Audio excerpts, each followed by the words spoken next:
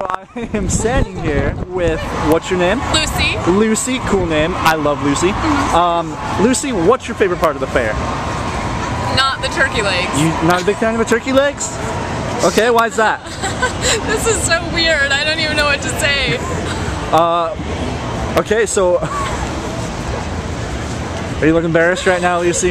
Um, yeah. A little shy? Yeah. Favorite part of the fair? Favorite part of the fair? Probably the ride. Okay, what's your favorite ride to go on?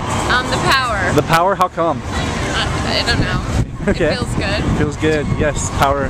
Power feels good. Uh, least favorite part of the fair besides the turkey leg. Um, the least waiting in line. Okay.